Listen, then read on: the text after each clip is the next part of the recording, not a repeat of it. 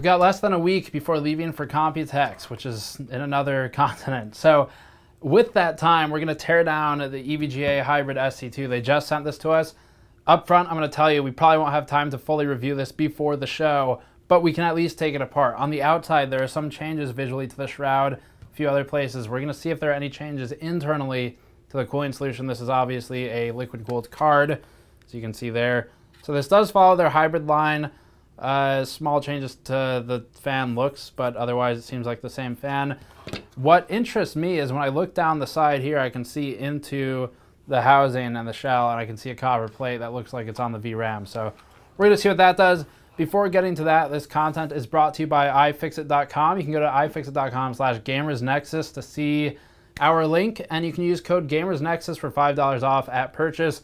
Today we're going to try and use the PC Essentials kit for everything. This is a $20 kit rather than the 60 to $70 ProTech toolkit we normally use. I think this has everything we need, but I'm, I'm actually not sure, so I've got all the other ones just in case. Uh, but what we're going to do is take this apart. So first off, that means getting rid of this and noting the price. This is an $800 card. This is the most expensive of the 1080 Ti's we've looked at thus far, with the others being the Asus Strix at 780 and the FTW3 at 780. And before we take the screws out, I would like to show everyone these things. Are you ready for this?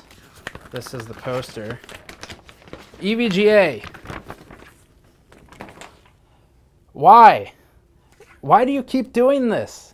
I think I've been reviewing EVGA cards for know, a couple of years now, maybe the amount of these that have gone to the recycling bin could probably create a forest. just either a better poster or stop. Okay. Or uh, six stickers, by the way, for the window of your case. Uh, anyway, let's take this apart. Let's get to the thing that they do well, which is cooling, at least with the ICX series especially. So we're going to start out, looks like with Phillips.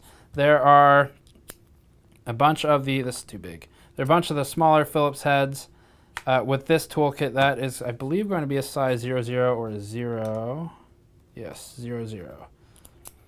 So we're going to take these back plate screws out first. These go through the PCB back plate and into uh, the rest of the, into the base plate, in theory. We'll find out.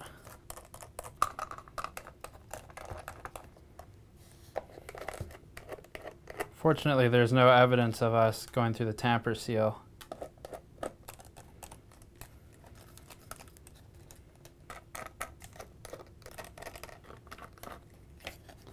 Okay, so they're sticking with their thermal pads on everything.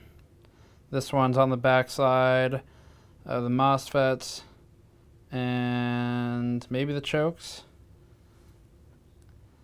That's on the VRAM right there. You can see the grease outline. So that's the half of the back plate off. We can take this half off. Also stuck on by lots and lots of thermal pads. Backside of the GPU, VRAM, VRAM. Pretty straightforward stuff. We've seen all of this before. if you're curious if those thermal pads have any impact, the answer with these cards at least is yes. There's not always, it doesn't always matter with the backplates. They don't always actually provide cooling but we tested these back when we did the uh, ACX with and without thermal pads testing, where we talked about the ACX problems and uh, EVGA's solution with more thermal pads. You can see the impact they have in our testing in that content if you're curious. Should be able to come off at this point. Let's count the screws first. 3, 6, 11, 14, 16, uh, and then four more. So we've got 20 total screws to the back with four holding in the, uh, the front, the actual cooler, the pump, I should say. So it's all loose now, but we're going to try and get rid of this first. This is just the shroud. This is pretty interesting. It's a bit different. So first of all, I need to pull this out. Oh, okay, cool. There's your shroud. If you didn't notice, they've got new like wannabe tessellation stuff on here. So it's kind of like the tessellated finish of the FE card, except without the actual indentations. Uh, that's new. Normally it's just gray. I'm not sure if this is new. It, I think it is. I don't have another hybrid in front of me right now, but this is an illuminated plate. So I'm pretty sure that's new. And it's SC2, uh, which means probably, probably RGB. Okay, so here's where I get to explain what this mess is here for. We did that once before, but it's been a while. Let's detach all this first. So first of all, you'll notice this is the extruded plate that, or I should say protruding plate, otherwise people get mad. This is the protruding copper plate that we've been talking about for a while. EVGA uses it in their hybrid kit and in their hybrid cards. The part that's interesting here is this time there's uh, actually TIM on the outer rim of the plate. So why is that there? Because this is clearly the part contacting the GPU, but not this. Well, if you don't follow our coverage or haven't made the connection yourself already, you can see the rim here aligns with the rim on that. The reason there is thermal paste here and so much of it is because this copper plate is contacting VRAM here, VRAM here, VRAM here. So you're contacting VRAM and it's sinking into a plate. That's got to go somewhere. It doesn't it can't just sit there and this fan's not going to cool it. So what it does is they contact the plate via a lot of TIM, but it's still better than not doing the solution, to the pump, the cold plate. And that conducts, they share the same cooling solution. They share the pump, so the GPU and the VRAM share the pump. That means your GPU temperatures will look higher because there are VRAM temperatures, or the, the VRAM is being synced to the same module. So that makes the measured temperature go up on the GPU, but the VRAM goes lower. So it's just one of those trade-offs. It's still fine though. You're still ultimately in good shape, really, as long as you have even a decent air cooler on one of these. So uh, that's the solution from the outside. Is this already loose? It should be. Okay, cool. Here is the inside. Trying to keep track of all their thermal pads. This is an SC2 PCB. We have already talked about the SC2.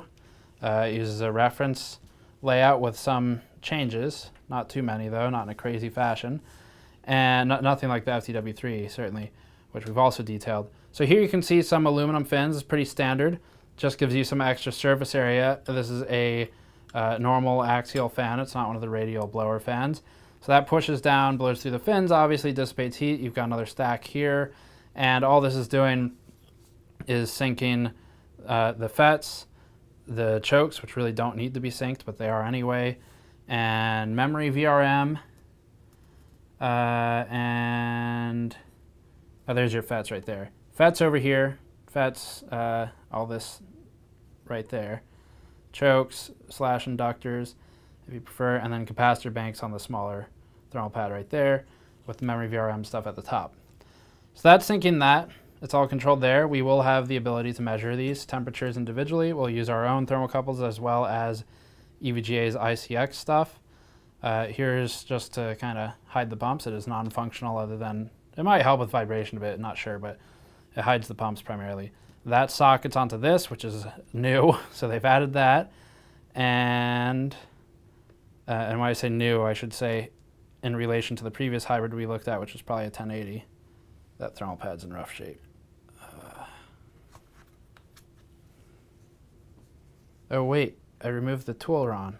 We gotta read the instructions. Push down to remove tools. Oh my gosh. Thank you, iFixit. I would not have figured that out. Okay, we, we've saved the thermal pad. Maybe. All right, I'll worry about the rest of it later. I'll smooth it out later. Um, so here's our plate. Copper plate, we've got the mounting points, the contact points via thermal pad, which again sinks to the pump, and that's the end of the story cooling for the VRAM. And uh, the rest of it's just elevated because it doesn't matter. All, all this needs to do is contact the pump cold plate. It doesn't need to touch the PCB. That's irrelevant. So that's the, the plate and the pump Do we have anything else special to talk about here? Uh, LED, power, pump, and fan. Are these merged into one? They normally are. Yes. So these connect to one uh, right there. So these bridge into each other and then socket into the board. So you're controlled by that. Now what I'm not sure is how, how does ICX come into play with these hybrid cards? And we'll find that out for the review uh, because that's potentially interesting. E6932 is for the FET, E6930 for the memory VRM. Uh, so nothing, nothing that we haven't talked about in the past. Memory VRM, we've got E6930s up here, uh, and then the FETs E6932. So that's the card. Clean it off, I guess, and wrap this up. So the hybrid is a, uh, this is an SC2, which means that they've basically taken their, their other SC2, the air-cooled one, and stuck a liquid cooler on it. So if you watch our air-cooled review, in terms of uh, performance, gaming, things like that, which really isn't going to change much between these cards, the, the TIs that is. If you watch that review, you'll get an idea for the baseline. We'll look at thermals and things for this one as quickly as possible. Hopefully, uh, hopefully before Computex, but that's kind of pushing it. So we will soon find out.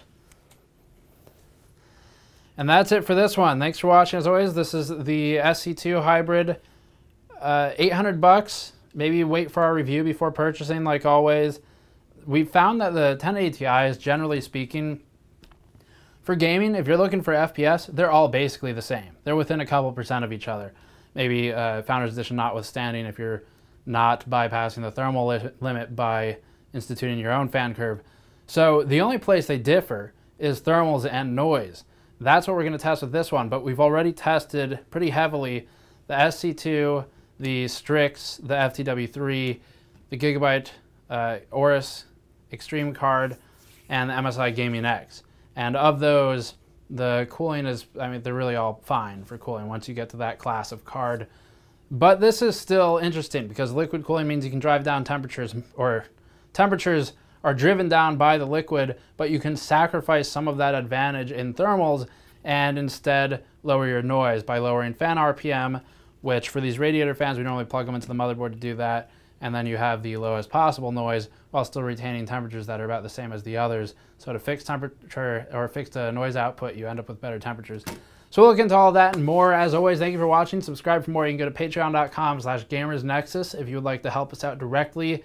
It's a big support for us these days. Store.gamersnexus.net for shirts like these. We have the uh, GN logo shirts back in stock in cotton, and we've got a couple of the Graph logo shirts left. As always, you can go use the uh, Gamers Nexus coupon code from iFixit to grab one of their toolkits. This one with the, uh, the special manual for how to remove that thing that I just inadvertently removed. I'll see you all next time.